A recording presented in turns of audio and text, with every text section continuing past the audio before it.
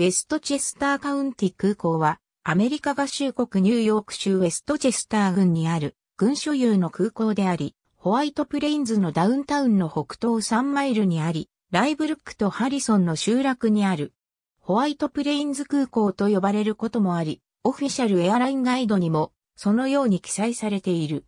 空港は主に、ニューヨーク州ウェストチェスター郡とコネチカット州、フェアフィールド郡にサービスを提供している。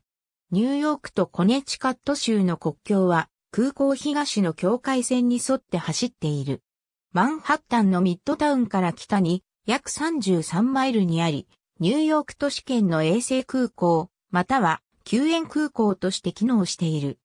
HPN は現在主要な航空会社のパートナー向けに定期便を運航している地域のコードシェア便を含む5つの航空会社によって全米の16の目的地に運航している。2つの定期チャーター航空会社もフライトを提供している。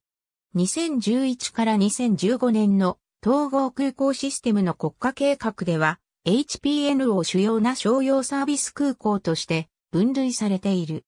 連邦航空局の記録によると2008年の歴年の空港の乗客数は90万4482人であり、2009年は96万4927、2010年は99万9831であった。ありがとうございます。